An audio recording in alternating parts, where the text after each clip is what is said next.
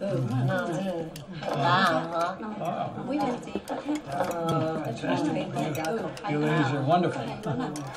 Our stuff is really good. ngon chị ạ nó thấy không bây giờ nó còn nó người come on you glutton sao What's up? một tuổi nhá bây giờ What for? to mingle Mango will be going right here. come on you told me not to leave you alone. Uh, no more, please. I, is this that chicken dumpling thing you brought the? Oh, all right.